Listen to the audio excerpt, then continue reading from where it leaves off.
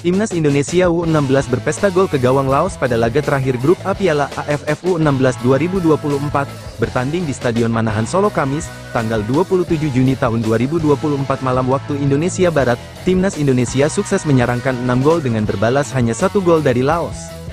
Timnas Indonesia bermain kurang tenang di awal permainan, keinginan untuk mencetak gol cepat menjadi bumerang, justru Laos mampu merepotkan barisan pertahanan Indonesia, baru 5 menit Indonesia dihukum penalti setelah Matthew Baker mengganjal Sayafat Van Safat, Payak Siphanom yang menjadi eksekutor, mengecoh kiper dengan tendangan ke kiri bawah gawang. Tertinggal satu gol, Indonesia bermain lebih agresif, penalti didapat Indonesia pada menit ke-23, Zahabi Goli diganjal pemain Laos, Goli sendiri yang maju sebagai eksekutor dan menempatkan bola ke pojok kanan bawah gawang, skor imbang 1-1. Indonesia berbalik unggul pada menit ke-30 hasil gol bunuh diri pemain Laos, berawal dari sepak pojok, umpan lambung Fabio Aska Irawan disundul pemain Laos Van Safat dan masuk ke gawang mereka sendiri, Timnas U16 berbalik unggul 2-1.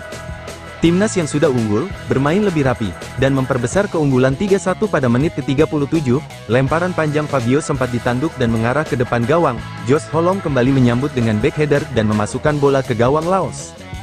Sebelum memasuki jeda pertandingan, Timnas U16 melanjutkan pesta gol, kali ini lewat aksi Putu Panji menit 45 plus 3, yang menerima tendangan bebas dari rekannya, skor 4-1, gol Panji itu menutup babak pertama.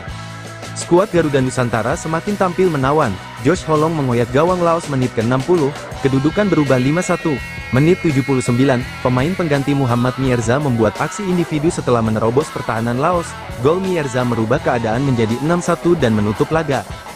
Dengan hasil ini, tim tuan rumah Indonesia keluar sebagai juara grup A dengan mengemas 9 poin. Dua laga sebelumnya, Garuda Muda menang atas Singapura 3-0 dan Filipina dengan skor yang sama.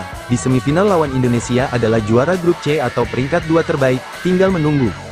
Sementara, Laos yang mengumpulkan 6 poin, menempati posisi runner-up, mereka masih berpeluang lolos ke semifinal sebagai tim peringkat kedua terbaik, tetapi kepastiannya akan didapat tergantung hasil dari grup lain.